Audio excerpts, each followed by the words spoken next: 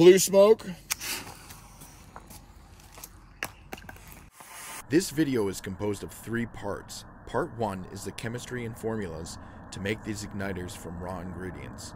Part 2 is how to make the ignition cups that form the foundation for all these igniters. These are also the instructions for the pre-made kits sold at inventionincarnate.com. Part 3 consists of a few examples of how to integrate these igniters into legal devices. Feel free to jump around as you see fit.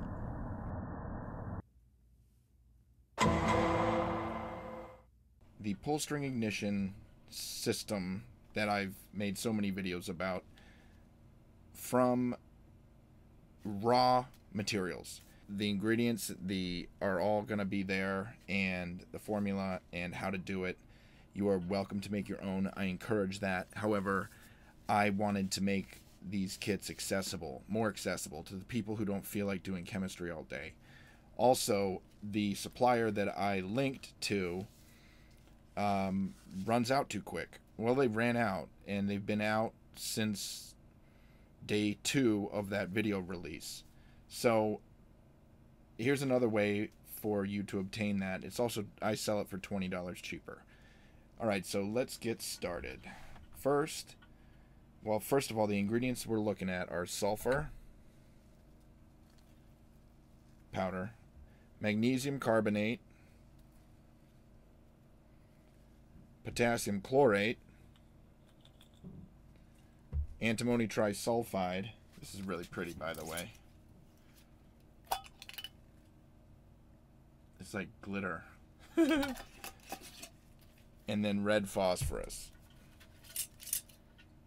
So let's go over the percent compositions, right? So first of all, when you get that kit, the I separate the oxidizer from the rest of the components because it is illegal to mail.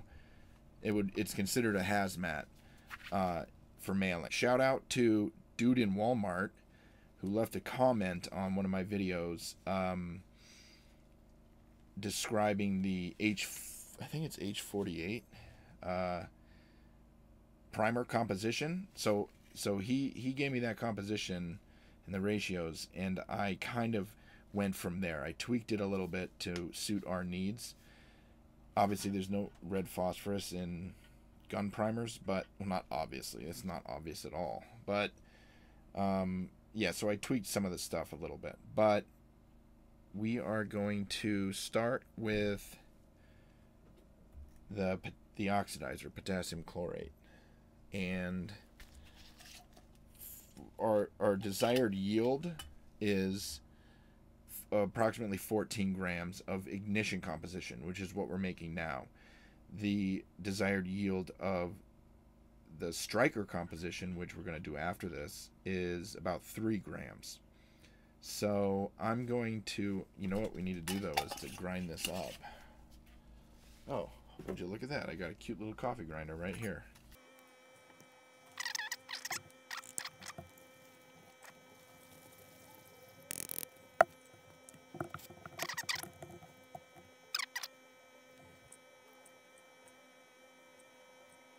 So, maybe this little magical... This magical puff. Oops, I went over. Okay, well... Alright, so that's the potassium chlorate. Now we're going to add 24.6% of antimony trisulfide, which for our desired yield of 14 grams is going to be 3.4 tare, 3.4 grams. Now listen, you're not supposed to technically add into a mixed. this is poor chemistry practice. Okay, empty empty container, tare. 3.4. It's a lot more dense, obviously. such a pretty chemical.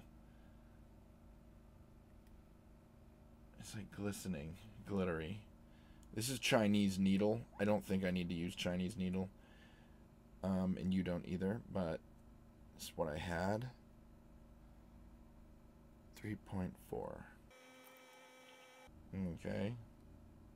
Add a little more because some's gonna some is gonna be lost in the transfer. Oh, what do we have? Sulfur, 9%. So we're going to do 1.26 grams of sulfur. This is sulfur.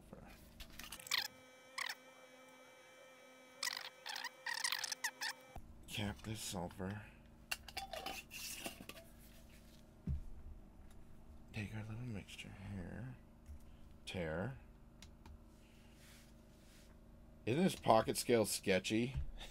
so we are adding, again, sorry, 1.26 grams of sulfur. Open this, tear it.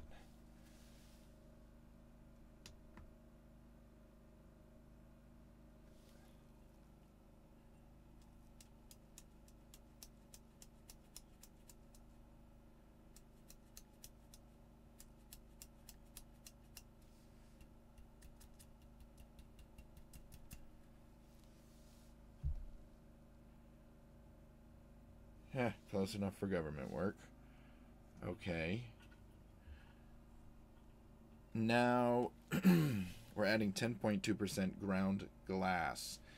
This is my ground glass. I literally pulled this from the trash at my friend's house.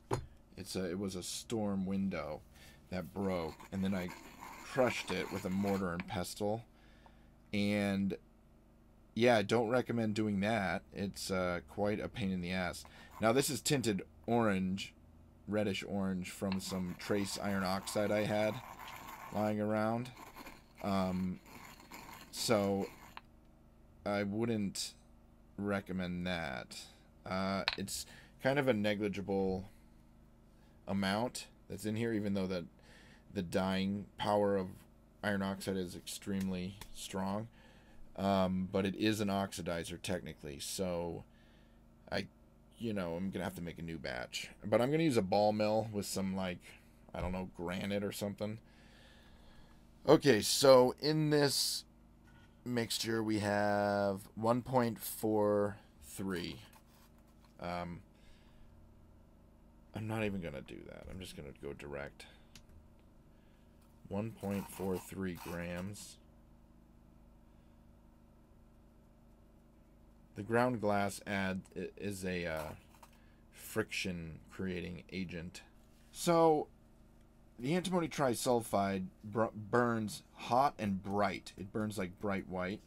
Um, oh, the magnesium carbonate. Oh my god. All right. All right. So the magnesium carbonate when it'll slow down that this reaction um, this is only a trace amount. We are talking about 0.1 grams. Um, but what happens is, is when it decomposes during the combustion, it releases CO2. And the CO2 cools and slows down the whole reaction. Um, that would, you know, the ignition temperature theoretically is going to be hot enough. Uh, do I need to grind this? Yeah, probably. Uh, the ignition temperature is still hot enough to ignite a fuse, but it gives us it, it extends the duration of that ignition, you know, by a few milliseconds. But like that, those extra that extra duration will give uh, fuse or whatever it is that we're lighting more time to ignite. Uh, it increases the probability of ignition. So even though it like is slowing down a reaction, it's actually you know what if I'm adding a trace amount of magnesium carbonate, I'm going to get a trace amount of extra oxidizer in lieu. Okay, so I'm just going to measure this out and sprinkle it like fairy dust.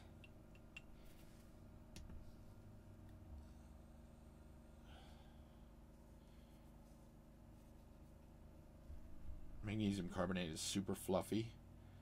This is uh, gymnast chalk or rock climbing chalk.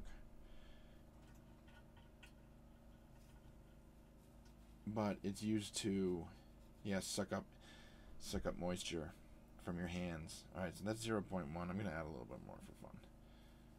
All right, 0.12. All right. I'll add glue to this and the striker composition at the same time. Anyway, so that is mixed ignition comp.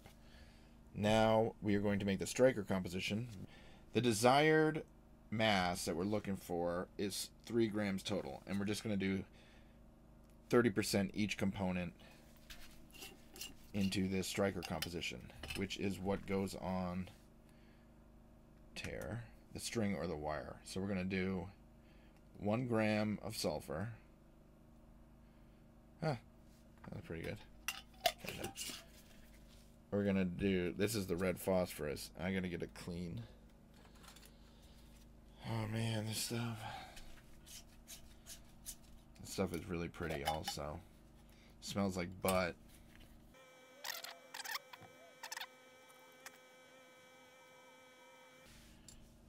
Alright, so one gram of sulfur, one gram of red phosphorus, and then one gram.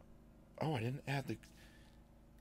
I didn't add the ground glass, did I? Yeah, I did. Alright, to the other one. And then one gram of ground glass.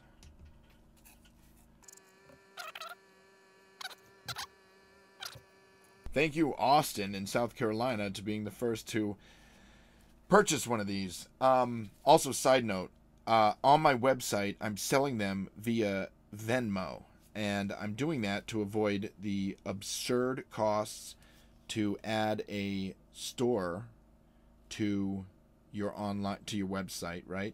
So I bought the domain, uh, inventionincarnate.com. I made a website, and then in order to add a storefront, a store to it, cost like 250 bucks, and then 6% of each transaction, each credit card or Apple Pay transaction goes to the... You can make it on your own.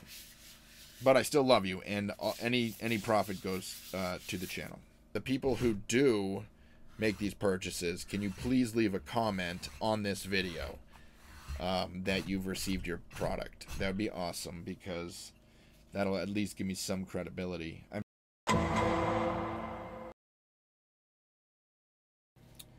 This is part two of this very long video. Hopefully it's not that long. But these are the instructions, essentially, for the Invention Incarnate pull string ignition kit. Pull string, pull pin, pull ring, whatever you want, you can modify it.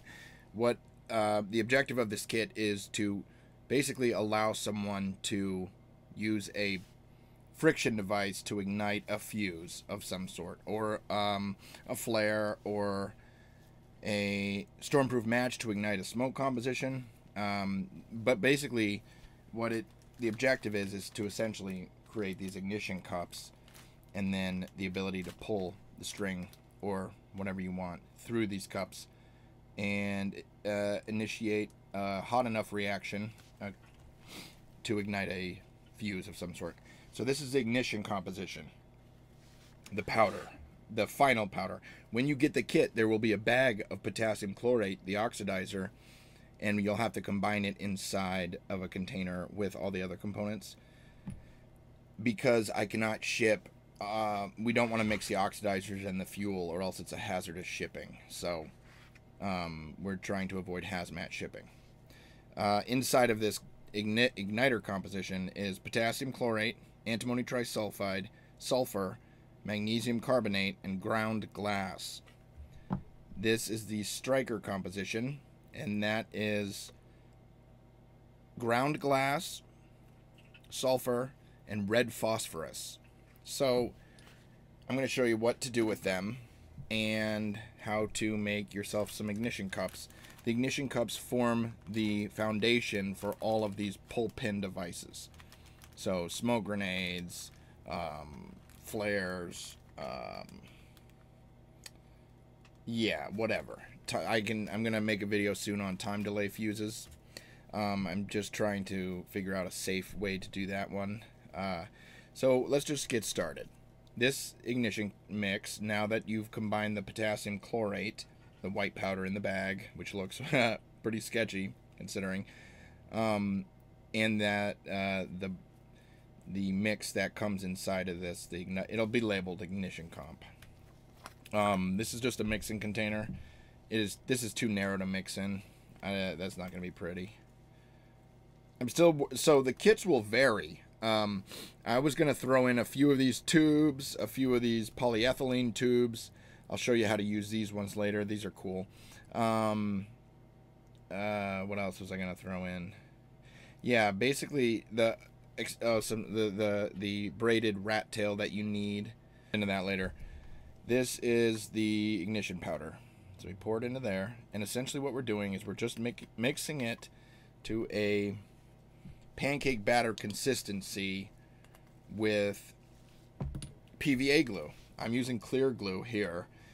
Any PVA glue will work, whether it's this Elmer's clear glue, uh, white school glue, wood glue will work, and I don't know if I'd venture outside of that, but so we basically just mix this into a pancake batter.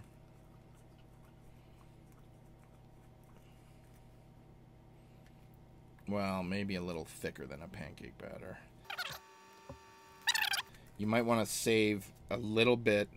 So instead of pouring out all of this into the mixing container, save a little bit of powder in the event that you over add the glue.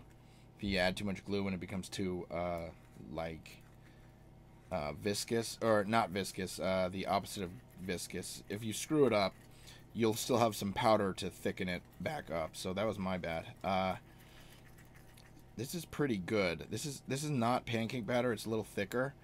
And I'm going to actually show you a few ways to make these, a couple of ways to make these cups. Um, and what we'll do is we'll get started on loading this into one of these syringes. No, I do not want to use this one. I want to use this other stick, the round dowel. Because it comes off easier.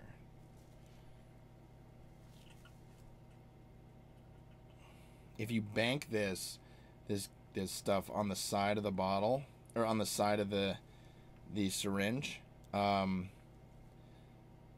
look at that thick stuff. Uh, it, you got to leave an air chamber so that when you put the plunger on, it will purge the air. So like this, in other words. So it'll purge the air down. It won't. Well, that's getting trapped a little bit. Yeah. Well, that's pretty good. Um, it'll purge all this air out if you bank it on the side. If you make it circumferential, then it'll create a, seal that you won't be able to purge. And you'll just have an air bubble. It's not a big deal but this is and also you may need to cut the nose of this proboscis or whatever it is um, I'm going to try and include these in those kits uh, availability is kind of limited to what I can buy at Hobby Lobby and also depends on how many people order them let's see so now I'm going to do this I'm going to fill up a few cups without a string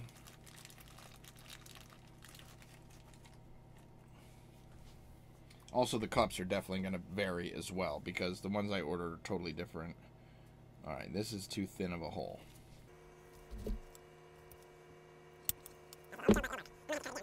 But whatever. Um, I wonder if it's better to not use a syringe and to just scoop it in. Alright, so this one is a little bit more full. Let me see if I can focus. Yeah, this one's a little more full than is ideal but you'll see we don't have the string inside of this. What we're going to do is use a, a wire. This is just an example. One, I'll do one of those. I'll do another one of them. And then we'll just say that's that for that. And now, oh, I will definitely include a needle, an upholstery needle, because those are a pain in the ass to get. And those are you know a lot of these the, these items are easy to get like the tubing or whatever. But um the uh I'll tell you right now those upholstery needles are a separate trip usually for men I'll say. All right here's an upholstery needle and this is oh yeah I'll pull out a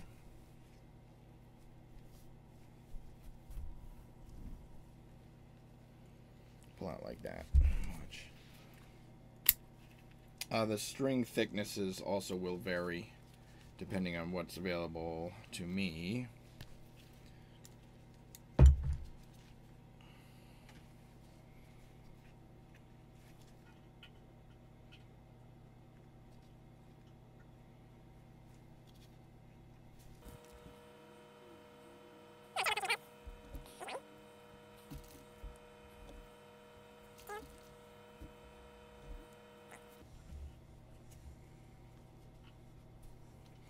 So these holes get a little dilated when they go through the doubled up section here.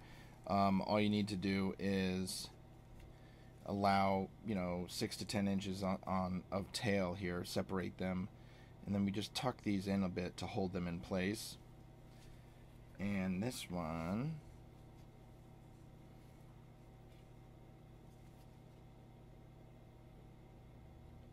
Tuck that in and then tuck this in. We're gonna basically eventually cut these to leave uh, three quarters to a half inch on the bottom below this cup when that time comes. So first we are going to halfway fill these cups up. So yeah, fill these cups up with this ignition composition, uh, which is in the syringe you can also use a stick if you want. Or I'm gonna. Uh, some of the kits might have paintbrushes. Um, uh, those will help to not completely fill the cup. We do not want to fill this cup completely with this pull string because it will basically be. It'll just uh, kind of become like a firecracker. Alright, so that's that. I'm gonna go back to the syringe because it's easier.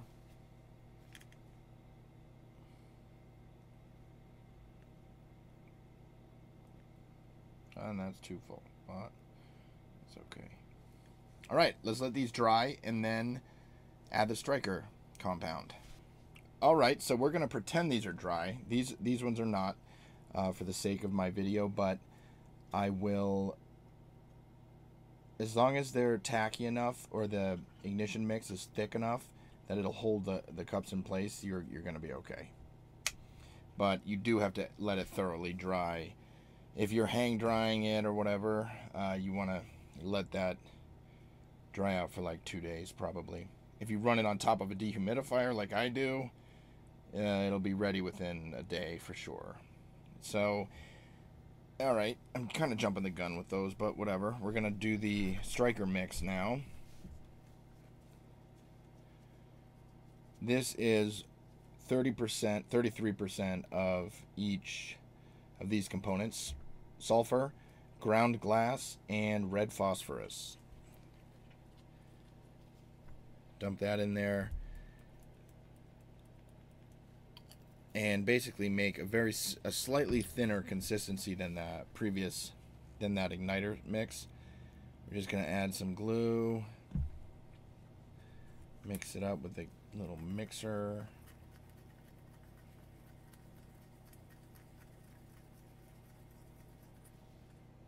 Hmm. Smells like fats.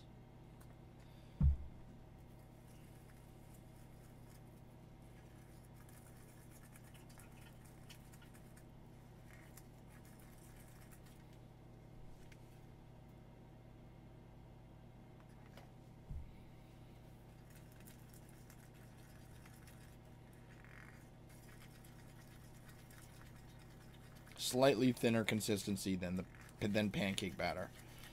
Oh, I'm sorry. I would say a similar consistency to pancake batter. The other composition or the other mix was just slightly thicker than pancake batter, but this is about this is about good. What is this like? I don't know what it's like. Um, and I prefer you can dip the ends of these igniters. You can dip them into this mix um, but I think that, ah, yeah, that's good. Just rolling it on like this is great. Oh, jeez. Let me get into view. That is perfect. Just like that. Um, if you accidentally mix this mix too thin, then you might just have to double dip it. That's all. It's not the end of the world. Double dip as in dip it once, let it dry, dip it again. Or let it at least tack. That's a good one too.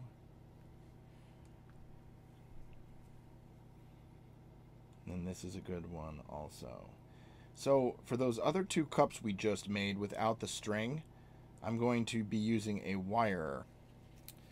Okay, I will not be including this wire in these kits because I believe the performance is somewhat unreliable.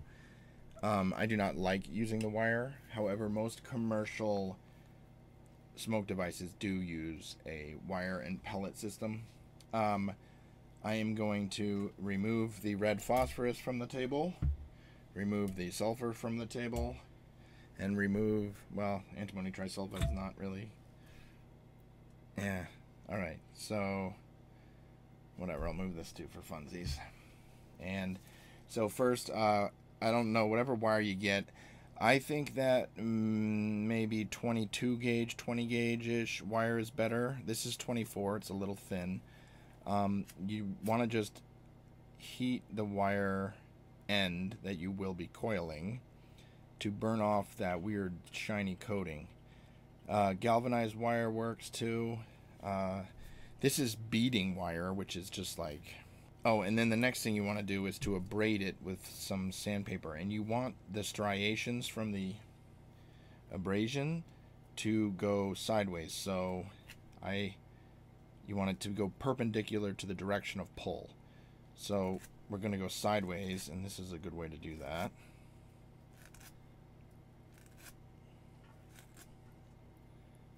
This is uh, um, the copper sandpaper, the copper pipe sandpaper for that plumbers use after they uh, before and after they solder uh, pipe fittings. All right, so this is abraded. Now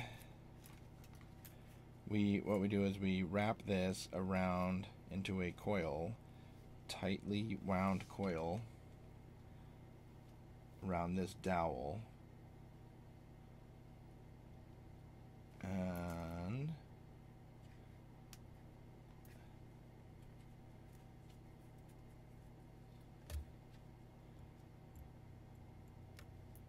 So there we have that. Let me get this focused.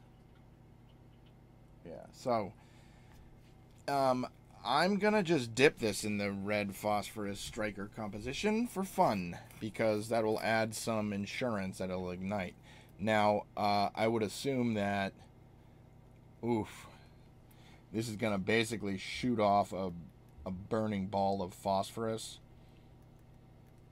Um, uh, so maybe it's not such a great idea. Uh, maybe uh, let me take some of this out. What we want to do is um, so the red phosphorus in the in these mixes uh, when it when it when it comes uh, when it's heated or under when it experiences friction and, and subsequent heat uh, it converts very readily to white phosphorus which then reacts um, to oxygen in the air and to other oxidizers uh, nearby, and it it will ignite the antimony trisulfide potassium chlorate composition. Um, all right, so this is we'll we'll try this. We'll try this coiled style. And then what we do is we take one of those dried cups um, that we filled and just sink it down into this neoprene. We do not want to like penetrate through this too far to dilate it because we want there to be enough friction to yeah there we go so just when we see that the head of that needle and with a wire that is I'm gonna cut this wire. So wire is a little better than bright orange or yellow or blue colored string if you're making something tactical looking. Um, but I'll say if you shrink wrap what I like to do is shrink wrap this the this rat tail wire, or I'm sorry, string. I like to shrink wrap it with just black electrical shrink wrap, and um, because that makes it more durable against abrasion also. And then I'd crimp a uh, an electrical conduit lock nut onto it, half inch electrical conduit lock nut. Anyway, you'll see that at the end of this video. And so yeah, there we go. So we want to let this dry. Um, it'll just sit right in there, and then like that. But that's one al alternate way to do it, other than the string. Um, yeah, well, let's let that dry. Welcome to my I Spy book of a desk. So, uh, what I'm going to do now is go through, this is the fun stuff. I'm going to go through some examples of how to mod or how to utilize these pull string igniters on certain, you know, different devices. This is a 3 8 inch inner diameter polyethylene tube. Um, what I've done is I'm cross puncturing it to accommodate a fuse that's going across. That is for this, where is this thing? This is a commercial device, but I'm going to show you just for example purposes how to uh, utilize this system here. So we have an ignition cup here. It's all dried. I'm going to just feed it through this. You can also use a quarter inch diameter polyethylene tube um, but you want to uh, push this in with a stick. It's a little more blunt. Um, you can use a quarter inch if you can fit the cup in it. Uh, you can also flare the cup by heating a set of needle nose pliers and then just flaring open the opening, uh, flaring this guy by basically going like this, heating this up and then twisting like this and opening it. Um, just as it cools, be sure to hold it in place because polyethylene, once it cools, it'll shrink back to its original position somewhat. And, alright, so now I'm going to take this little staple, clear this out of the way, and obviously do this, uh, come on. Uh, here's a trick, if you don't know it, everybody knows this, but removing the safety proof, that's stupid child lock on a Bic.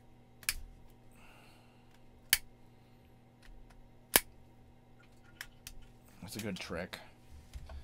Uh, both for ease of ignition and also in a survival situation when your butane runs out you can use the flint and steel on a Bic with the safety lock removed you can use that to ignite a fire all you have to do is slowly pull the flint and steel like this into a little, oh, I'm not way over there, into a little pile, into some really like fluffy tinder. You dump it out, and then when you ignite it, it well, you get the idea. Anyway, um, I digress. So let's heat this up with this pair of needle nose pliers.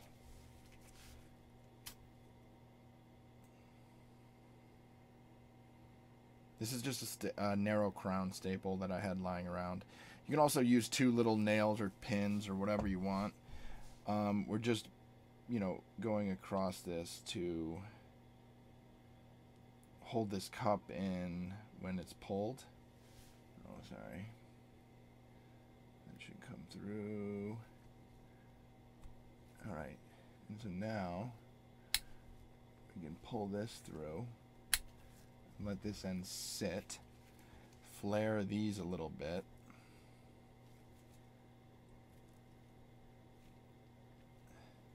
And then cut them with some end snips.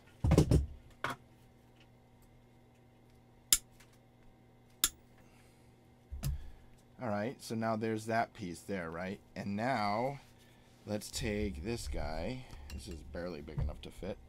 And we can I'm gonna dilate this polyethylene or this uh, hole again. Jeez, and make sure not to hit that cross. That little guy going across there. There's probably a better procedure for doing this. I'm just kind of rushing through these examples. Um,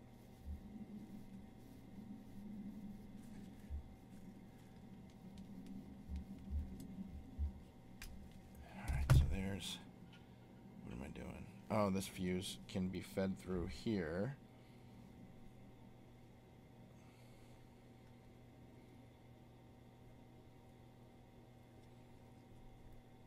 All right. Go this way just for some redundancy. And now we can find a, well, we can just punch a new hole on the side here with these. There, that's all the way through. Now I'm going to feed this string outside of this cardboard. And we're going to line it up just like that, okay? And then we can put... Alright, we're just going to cover this up with some of this foil tape. I don't want to do that again.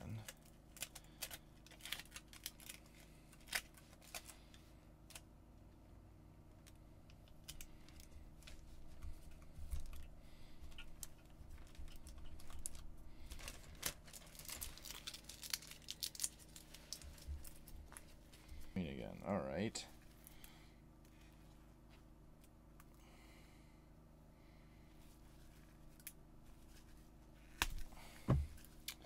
Now let's make this look a little more tactical. Blue smoke.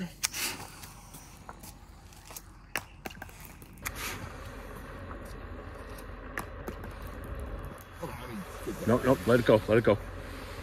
That's actually really good, let it go. Dude, that's sick. Oh, look at that. Look at that volume, man. Crazy.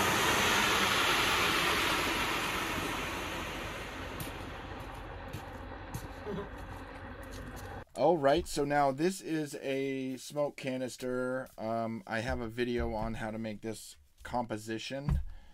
Um, what we're going to do is just dump some plaster in here.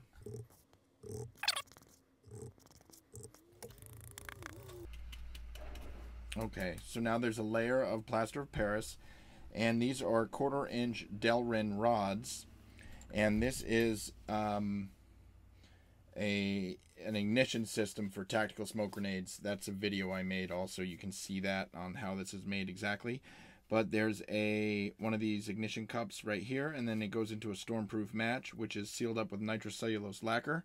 What we're going to do is just puncture that through the center of the plaster going into the ignition comp or the smoke comp composition.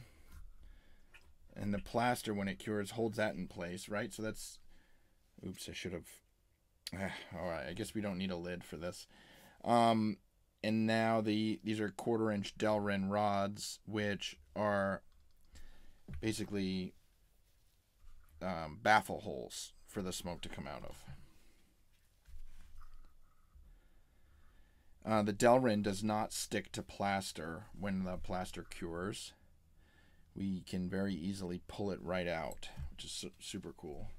And I forgot the name of the guy who made that suggestion in one of the comments, but props to you.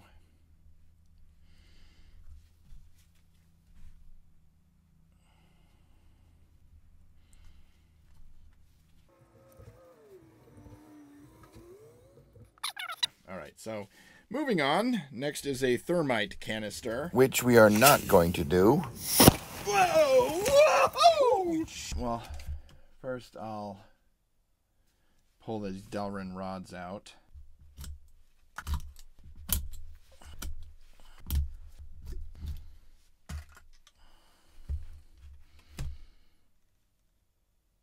Great.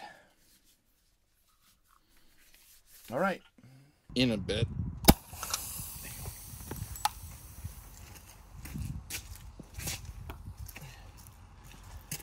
I think I need more magnesium uh, carbonate.